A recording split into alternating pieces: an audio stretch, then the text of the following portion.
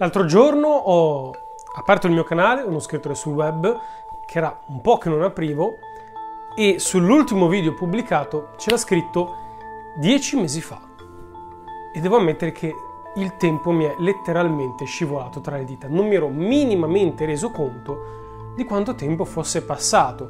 Poi ho fatto due conti e praticamente l'ultimo video che ho fatto l'ho fatto appena prima del trasloco. Poi ho traslocato, poi sapete, no? Il lavoro, la famiglia, il trasloco, per mettere le scatole a posto ci ho messo dei mesi letteralmente perché lavorando e tutto c'era sempre roba in mezzo alle palle, ma non c'era mai tempo di mettere le cose veramente bene, poi dovevano arrivare i mobili, eccetera, eccetera. Dieci mesi. Wow, non me ne ero reso conto, ma proprio per niente. E quindi questo è la cosa che mi ha stupito di più, in un certo senso, anche se l'idea era quella già ai tempi della fondazione del canale, il pubblico ha continuato a crescere, le views hanno continuato a crescere in maniera lenta ma inesorabile, tanto che quando ho pubblicato il mio ultimo video ero poco sopra gli 800 iscritti e adesso sono sopra i 1000, che è poco, in termini youtubici è davvero poco, ma per il mio canale che parla solo ed esclusivamente di libri, senza gossip, senza svarioni, senza deviazioni, senza rubriche extra e così via, mm, è tanto, per me è tanto, soprattutto considerando il lungo periodo di inattività. Quindi grazie, grazie a tutti voi per avermi seguito fin qui, nonostante la mia prolungata assenza. Assenza che tra l'altro non riguarda solo questo canale, ma anche quello che una volta io consideravo il mio canale principale, ovvero Opinioni Moleste, che è un canale morente non nel senso tradizionale del termine su YouTube, ovvero un canale che le cui views sono calate vertiginosamente nonostante la frequenza della pubblicazione, della qualità, il mantenimento di un certo standard e così via, ma perché me ne sono lentamente disinteressato eh, perché non lo so, fa parte del mio passato in un certo senso. Uno scrittore sul web fa parte del mio passato, ma la mia passione per la letteratura, per la lettura, per la narrativa, per la scrittura non è scemata. Ha deviato perché adesso leggo prevalentemente te- testi scientifici di astronomia sull'esplorazione spaziale e sulle nuove tecnologie e così via e ve li mostrerò magari in un prossimo video e così via ma qua e là mi è capitato di leggere qualche romanzo normale, narrativa. Ho scritto un romanzo nel frattempo in tempi record e mm, ho pubblicato il, il video a proposito qua su Opinioni Moleste se voleste darci un'occhiata, parlo del fatto che ho scritto questo romanzo in 15 giorni, se non ricordo male, 200.000 battute per un contest letterario che avevo meno di un mese di tempo per completarlo e così via. Quindi uno scrittore su web non ha ragione di morire. Quindi come speciale, diciamo, in ritardo dei 1000 iscritti e come ringraziamento riparte il canale con questo vlog, un po' di scuse, un po' di spiegazioni e volendo lanciare anche un messaggio. In passato, anche se non mi pare su questo canale, potrei sbagliarmi, ho già parlato del fatto che mi capita talvolta di trovare grandi quantità di libri nella spazzatura.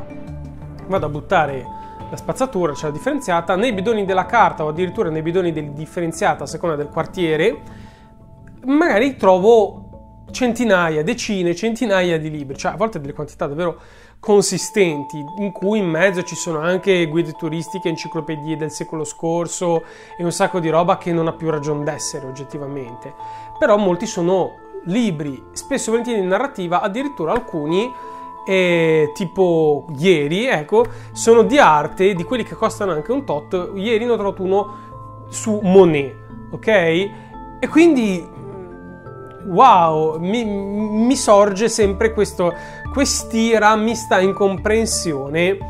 E diamo un'occhiata un attimo a questi libri e poi dopo vi dico una cosa a riguardo del fatto del buttare i libri, una cosa non così scontata però. Eccoli qui, magari togliamo il triciclo. Non è un caso, anche se potrebbe sembrarlo, che siano vicini al calorifero, perché come vi dicevo sono stati fuori, hanno preso anche un pochino d'acqua, anche se erano chiusi nei bidoni della carta. Bisogna che svaporino un po', poi li metterò anche un po' sul terrazzo, così c'è il sole a prendere un po' d'aria, perché oggettivamente era carta, ma erano nella spazzatura, d'accordo? Quindi vediamo un po' che cosa abbiamo salvato. Allora, ho preso questo, Favoriti della Fortuna, questi sono i libri che non ho destinato al book crossing sono quelli che mi è sembrato potesse valere la pena salvare, che è un romanzo storico ambientato nell'antica Roma.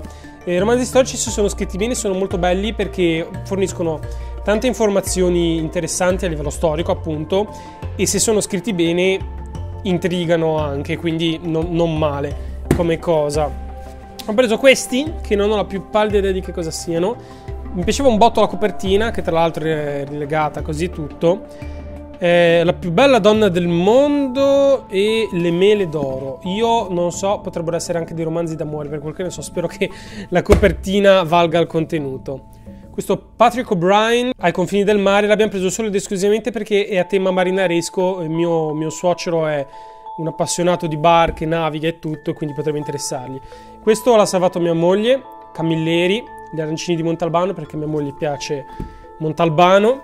Jurassic Park, probabilmente una trashata, però ero oggettivamente curioso. Dopo aver letto Alien, il libro, che è sorprendentemente buono, ho detto, ma non sia mai che sia lo stesso per Jurassic Park. Forrest Gump, che ammetto non sapevo della sua esistenza come romanzo, sapevo solo del libro e del, del, film naturalmente.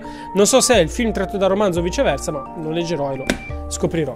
Pomodori verdi fritti, che è piuttosto noto, non l'ho mai letto, però mia moglie ne ha sentito parlare bene, quindi vediamo un po'. Il capitale umano, idem, ne ho sentito parlare, ci darò un'occhiata un altro di Patrick O'Brien, sempre tema marinaresco, e un altro di Patrick O'Brien, sempre dei, a tema marinaresco. Poi questo interessava a me perché questi giorni sono in ferie. 100 ricette di cucina cinese. Le ricette sono un po' come i libri, no?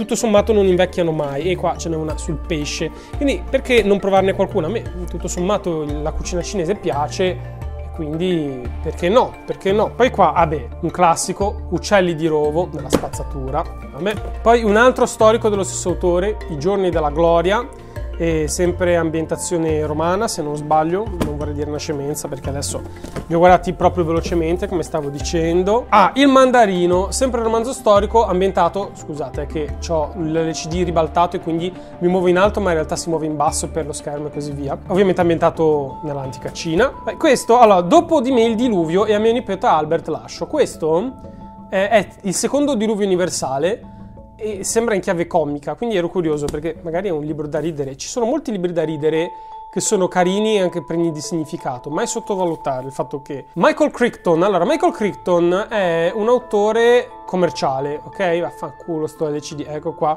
Eh, però il tema mi sembrava interessante, no, tutto sommato non credo di aver mai letto qualcosa di lui e quindi... Mm. Questo qui, Theophilus North di Thornton Wilder, non ha più pallida idea di cosa sia, gli diamo gli diamo una chance, che ne dite? Mm? Poi c'è Povero ricco di Irwin Shaw, che non so cosa sia, ma di nuovo mi sembrava promettente. Questo qua anche rilegato. Allora, questi sono selezioni della narrativa mondiale, come potete leggere. L'alternativa del diavolo, un treno per il futuro, l'errore del chirurgo dalle mani d'oro, perché non noi?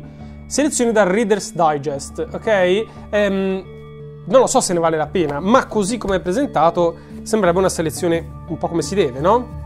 Poi abbiamo questo codice 5 di Frank Slaughter. Non ho la più pallida idea di cosa sia, diamogli un'opportunità. Gli eredi, che di nuovo mm, potrebbe, potrebbe essere una cosa interessante. Vaffanculo!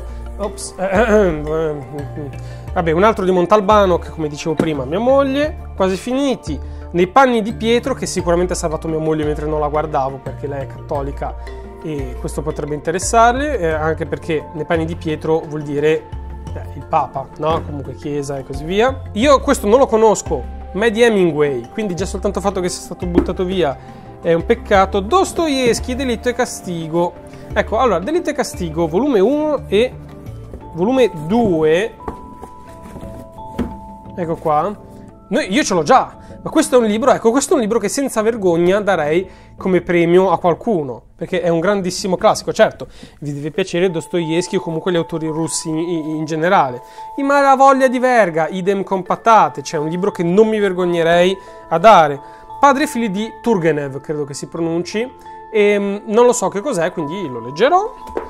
Poi, ah, di nuovo, canto di Natale di Dickens. Come cazzo si fa a buttare Dickens nella spazzatura? Un altro di Hemingway, Morte nel pomeriggio. Vabbè, questo ammetto di averlo preso. Questi due li ho presi per la mia, per la mia anima trash. Abyss e Abissi.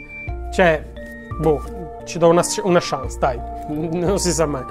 Non calpestate il mio giardino di Alice Hoffman, eh, non so che cosa sia, però ho letto la quarta di copertina e sembra una cosa tutto sommato interessante.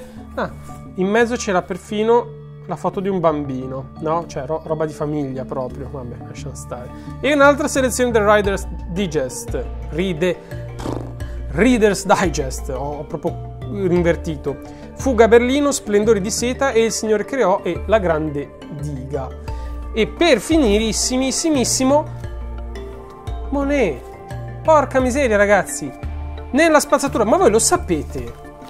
Avete una pallidissima idea di quanto cazzo costano questi libri sugli artisti con dentro tutte le immagini in alta definizione delle loro opere. Costano un'ira di Dio. Questi, come dicevo, sono i libri che ho salvato, non sono tutti i libri che ho salvato, sono solo quelli che io e mia moglie abbiamo scartabellandoli così rapidamente perché eravamo anche un po' in mezzo ai piedi, deciso di salvare perché ci interessavano, ci mancavano, sono grandi classici e cose del genere. In mezzo ce ne sono molti che non abbiamo idea di cosa siano, abbiamo solo dato una letta così a, alla quarta di copertina, eccetera, eccetera, però sono un tot, più del doppio di questi sono poi stati portati al book crossing in fretta e furia di sera, bambino nel seggiolino, libri buttati in macchina, il book crossing con delle pile così di libri di, vuoto, perché il book crossing è sempre vuoto, la gente ci va, prende i libri ma non fa un crossing, in realtà li prende e basta. E quindi ne ho salvati tanti. Ora, qual è il punto sul buttare via i libri? Ci possiamo indignare? Sì, perché comunque ci sono modi più intelligenti di liberarsi dei libri, tipo portarli al book crossing, ma capite lo sbattimento, no? bisogna, bisogna che ci sia un book crossing nella vostra città. Si spera che non sia eccessivamente lontano, nel mio caso ci, ci è voluto un quarto d'ora di macchina per arrivarci e portarci i libri, quindi relativamente vicino ai Nervi, proprio ultimo quartiere di Genova, zona Levante, prima che finisca la città. Io sono in Albaro, che non è in centro, ma verso il centro, quindi ci vuole un po' di tempo. E, oppure si possono perlomeno se avete fatica, non avete voglia, vi pesa il culo, eh, non avete un mezzo, troppi libri e così via, ammucchiateli vicino al bidone della carta, ok? Così che i passanti possano, senza fare come ho fatto io che mi sono tuffato letteralmente fino al petto dentro il bidone, togliendo la carta, gli involti di merendini, i pezzi di giornale, la cartaccia del cazzo, così a mano e distraendo i libri finché non, non mi arrivavano alle braccia perché il bidone è profondo, io sono 1,72 quindi fino in fondo in fondo non ci arrivo senza ribaltarlo magari la gente senza doversi insozzare tuffare nel bidone da rumenta e, e rovistare nella spazzatura può dare un'occhiata e vedere se c'è qualcosa che gli interessa o che potrebbe servire a qualcuno. C'era un intero dizionario italiano-latino che è utilissimo per la scuola, costa anche dei gran soldi, tra l'altro, senza bisogno di tuffarsi nella spazzatura, ecco. E, e questo è uno. Due, mentre facevamo questo lavoro, sono passati una signora d'età e un ragazzo, no? Ed erano lì, babà, babà, qua i libri, vergogna, eccetera, eccetera. E, e, e io ho detto, sì, li ho tirati fuori dalla spazzatura perché così, no? Sapete. E lui mi fa, eh però buttarli così eh, si possono far valutare e tutto, al che l'ho fermato perché ahimè mi sono fatto un'esperienza in merito e ragazzi se non li regalate a qualcuno eh, o non li mettete di fianco al bidone della spazzatura o non li portate a un book crossing è difficilissimo trovare una soluzione alternativa per i libri. Perché? Perché quando io ho traslocato, considerando anche che già mi era capitato di raccogliere tipo tutti questi no, nella spazzatura c'è sempre qualche libro che non interessa o che è un doppione o cose del genere, ma magari a qualcun altro. Per esempio, nella spazzatura hanno trovati una pila, ma veramente tanti, di Christian Jacques. Uh, Christian Jacques è uno che scrive romanzi storici sempre ambientati in Egitto. A me non piace, lo trovo un po' superficiale, le storie sono sempre un po' me e così via, quindi però piace un sacco di gente Christian Jacques, è un attore molto è un attore, un autore molto noto e quindi qualcuno lo leggerà. Ma se voi questi libri provate a portarli eh, alle bancarelle o al libraccio, no? dove fanno la compravendita del libraccio nella mia città, perlomeno ha fuori 5-6 carrelloni di libri a 50 centesimi, 1 euro, 2 euro, 4 euro, così, che sono libri praticamente che loro hanno raccolto perché la gente svuota le case e di tutti questi libri ne hanno talmente tanti che non sanno cosa farsene. Quindi io gli ho portato tipo 40 libri, loro me ne hanno presi 3 che mi hanno pagato 50 centesimi l'uno e tutti gli altri non li volevano. Gli ho detto ve li regalo, no, non abbiamo spazio, non interessano a nessuno, non li venderemo mai, fantastico. Vado, avevo una pila di sti fumetti, boh, che a me non interessano particolarmente, vado alle bancarelle in piazza Colombo dove ci sono tutti quelli che vendono libri usati, fumetti usati e così via. Niente, non li volevano. Io a un certo punto ho trovato uno che mi fa guarda non valgono nulla, cioè valgono collezionisticamente parlando perché sono num- primi numeri di, di, fumetti di 30 anni fa e tutto, ma non li compra nessuno, niente, te li regalo, no? E sono riuscito a regalarne alcuni non tutti, quindi capite che nel momento in cui io su 40 libri mi sbarazzo di 3, su una pila così di fumetti mi sbarazzo di, di, soltanto di alcuni, anche regalandoli senza guadagnarci niente, prendendomi il disturbo di camallarmeli in giro, cioè portarmeli in giro e così via, comincia a diventare complicato. Quindi il fatto di portarli a un book crossing o di renderli perlomeno disponibili a terzi è l'unica soluzione accettabile. Scordatevi di farci dei soldi, scordatevi che ve li prendano le librerie, non c'è speranza, purtroppo non c'è speranza e questa è la triste verità. Addirittura eh, stavo pensando di fare un contest a premi con voi gli iscritti e regalare i libri, però il problema è che mi sono scontrato con un, con, un conflitto interiore, nel senso i libri che mi interessano me li tengo, no? I libri che non mi interessano mi sento in colpa a regalarli perché se io vi do un premio a, per un contest qua sul canale vorrei darvi qualcosa che secondo me vale la pena di leggere. Se il libro l'ho scartato, significa che pe- magari è valido, ma per me non vale la pena di leggerlo. E quindi mi sembrava di regalare spazzatura, detto proprio chiaramente. Quindi li ho portati al book crossing. Eh, spero nel tempo di, di, di, entrare in possesso di, o li acquisterò a un certo punto se il canale crescerà ancora un pochino. Perché ricordiamoci che questo canale non ha nemmeno i requisiti per essere monetizzato. Oh, finalmente raggiunto il numero di iscritti minimo richiesto, ma sono al 43% delle visualizzazioni annuali richieste, delle ore di visualizzazione, anche perché il canale è fermo da 10 mesi, quindi quello oggettivamente aiuta. Io spero di trovare o acquisterò un tot di volumi, alcuni sono anche difficili da trovare, ne ho un paio di doppioni addirittura di Urania molto difficili da trovare e poterveli mandare come premio. Per il momento non ha senso. Quindi ragazzi, per chiudere, vi ringrazio di nuovo per avermi aspettato finora, per avermi sostenuto finora con un po' di commenti perfino, con dei mi piace, con delle visualizzazioni, con delle iscrizioni nonostante la lunga inattività del canale. Come dicevo all'inizio del video, in realtà tutto ciò era voluto perché io ho creato un canale che sapevo bene che così come era strutturato eh, non sarebbe stato eccessivamente soggetto all'impietosità del tempo d'accordo? Perché un canale come Opinioni Moleste tendenzialmente, o come molti altri canali, tendenzialmente crea dei contenuti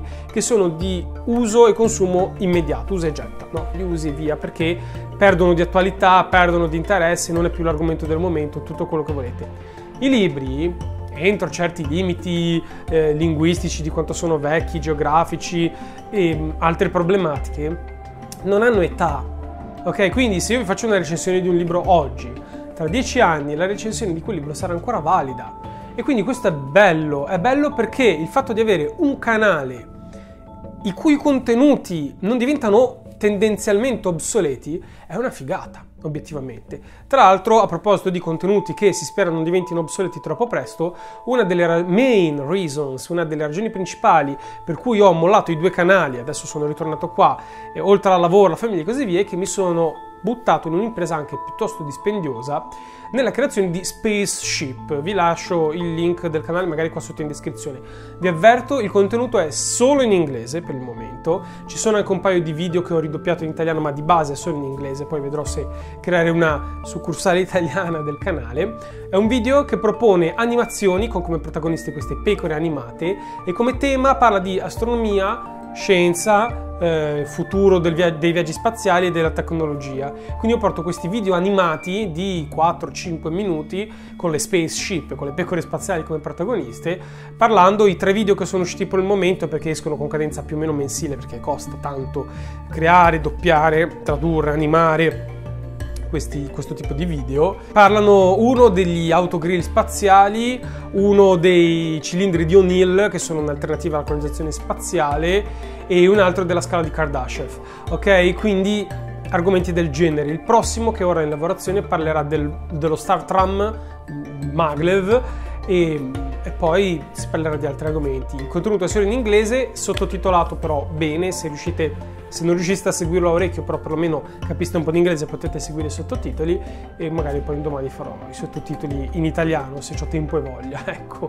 Quindi quella è una delle ragioni, dateci un'occhiata e vedete se ne valeva la pena. Tutto sommato, secondo me sì, ci sto investendo molto in termini di tempo, di lavoro, di denaro, anche la pagina Facebook di Spaceship che quotidianamente pubblica delle news uh, a tema del canale e quindi questo. Ci vediamo presto, non vi dirò mai più, ci vediamo tutti i lunedì alle 15 puntuali che mi piaceva tanto come saluto di conclusione, ma non è più realistico, farò i video quando riesco, spero di farne il più possibile perché in questi giorni sono in ferie, di farli uscire con una cadenza settimanale per coprire un po' di settimane, quindi grazie per l'ultima volta e noi a questo punto cambiamo il saluto di chiusura, ci vediamo al prossimo video.